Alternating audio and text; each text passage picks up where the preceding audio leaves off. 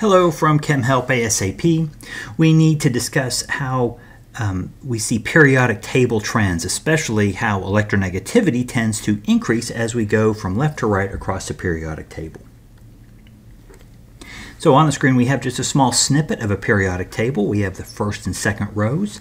On the uh, screen we also have electronegativity values written. En uh, Lowercase e capital N is one style of abbreviation for the word electronegativity because it's kind of a long word to write all the time.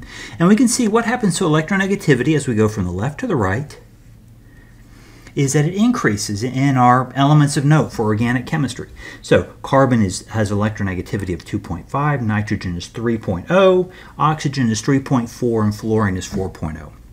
Why does this happen?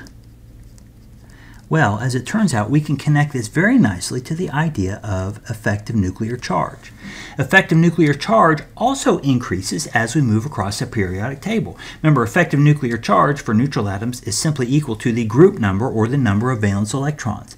So carbon has 4 valence electrons, has an effective nuclear charge of 4, nitrogen is 5, oxygen is 6, and fluorine is 7. So as effective nuclear charge increases, and that's the net number of protons that are attracting those valence electrons, we also see electronegativity increase. And electronegativity is also a measure of electron attraction. So this is a natural parallel that we might expect. Who cares? What is the result of this trend in the periodic table? Well, one thing we see is that the van der Waals radius of these elements decreases as we go across the periodic table.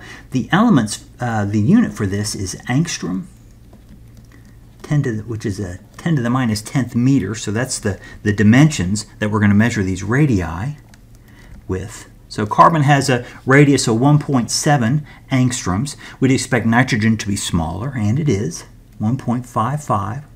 Oxygen's a little bit smaller, 1.52, and then fluorine again is a touch smaller still. So we see this contraction in atomic radius as we move across the periodic table. So in summary, as effective nuclear charge increases as we go from left to right across the periodic table, electronegativity also increases, and the van der Waals radius of our atoms tends to decrease.